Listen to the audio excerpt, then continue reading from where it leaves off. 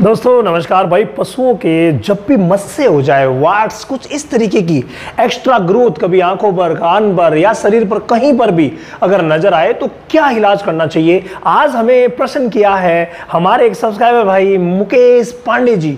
और इन्होंने लिखा है, रामावत वैद ज्ञान लिख करके जो भी कमेंट करते हैं, भाई हम उनका जवाब ज़रूर देते हैं।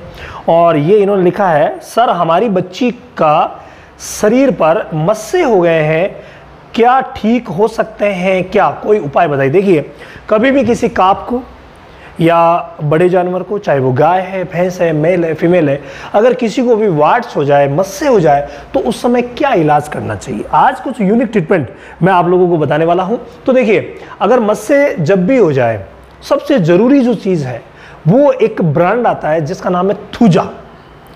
थूजा। देखिए, इसको आप अच्छी तरीके से देख लीजिए। थूजा। ये जो थूजा है ना, ये दो रूपों में आप इस्तेमाल कर सकते हैं। नंबर वन थूजा ऑइंटमेंट में भी आती है। यानी जब भी कोई मस्से हो जाए, वार्ट हो जाए तो थूजा ऑइंटमेंट लगानी है। और थूजा जो है, वो होम्योपैथी भी आती है। भाई, होम्योपैथी का भी रिज़ल्ट जो है, वो बहुत अच्छा है। तो थूजा, होम्योपैथी आप इस्तेमाल करवा सकते हैं। और थुजा होम्योपैथी काप में 30 पोटेंसी की यूज़ करनी है, यानी थुजा 30 और बड़े जो हैं, उनमें थुजा 200 आप इस्तेमाल करवा सकते हैं। अच्छा रिज़ल्ट मिलता है तो 200 पोटेंसी की जो है, वो बड़े जानवर में एक एक एम सुबह शाम दी जाती है। छोटों में 30 जो पोटेंसी की है, वो भाई 10-10 ड्रॉप सुबह शाम जीप के ऊपर डाली जाती है, बिल्कुल आसान है, ऑइंटमेंट लगा दो और होम्योपैथी जीप पर डाल दो। दोनों को साथ इस्तेमाल करवा लो।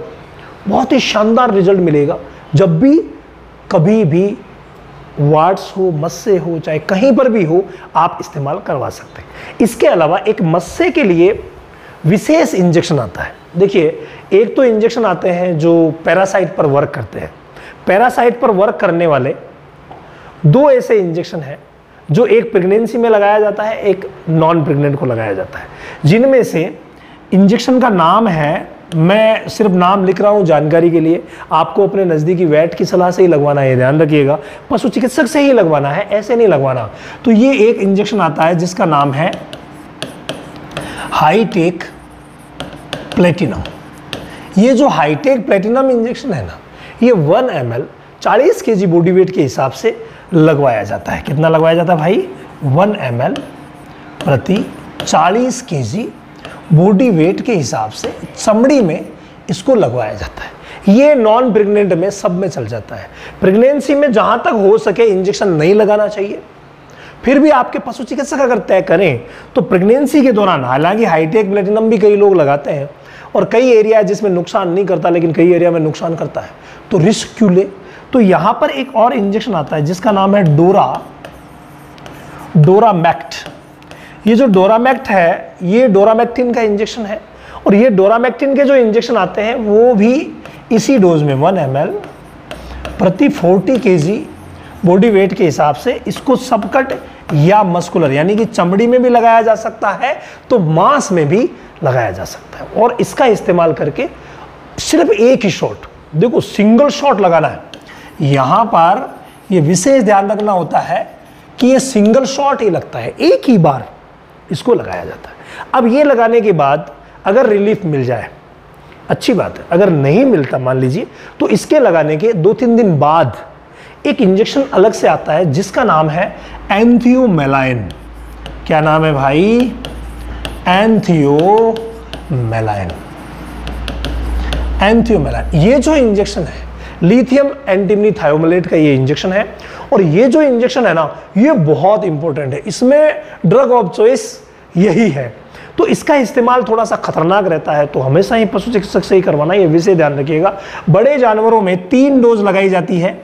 पहली डोज 20 एम की, दूसरी 15 एम की और तीसरी भी 15 एम की लगाई जाती है। और ये अल्टरनेट डे लगाया जाता है। जैसे एक दिन 20 एम लगा बीच में एक दिन छोड़ा जाता है, फिर एक दिन 15 एम लगा, फिर बीच में एक दिन छोड़ा जाता है और फिर 15 एम लगवाया जाता है। ये आपको पशु चिकित्सक से लगाना बहुत खतरनाक है और प्रेगनेंसी में मैंने आपको बताया कि जहाँ तक हो सके अवॉइड कर दीजिए अच्छा रहेगा।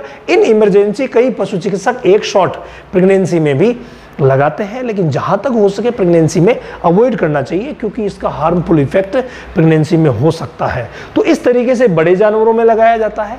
अब छोटों में भी, जैसे ये जो 20 एम डोज आ रही है, वो अगर हम देखें तो 1 एम एल पंद्रह के जी से 25 के के बीच में आती है। तो 1 एम एल पंद्रह से 25 के बीच में काप में भी लगवाई जा सकती है। सेकेंड डोज को आप यहाँ से लगभग 10-15 परसेंट कम कर दीजिए, और फिर दो दिन लगवा दीजिए। तो ये अल्टरनेट डे लगाया जाता है। कई बार बच्चों में हार्मफुल होता है, इसीलिए पशु चिकित्सक से ही लगवाना है, ये विशेष ध्यान रखिएगा। इसके अलावा ये सब चीज़ें आप कोम्बो बेस में जानना चाहते हैं तो डेयरी फ़ार्मिंग का ऑनलाइन सेशन हमारे रामावत एनिमल ऐप पर शुरू हो गया है। तो रामावत एनिमल ऐप पर मैं फ्री लाइव भी आता हूँ दस से साढ़े दस बजे रात रोज को, रोज रात को। तो वहाँ पर भी आप आकर के अपने प्रश्नों का जवाब पा सकते हैं। तो साथ में रामावत वैट ज्ञान लिख करके कमेंट कर दीजिए तो वो प्रश्न का जवाब भी आपको ज़रूर मिलेगा।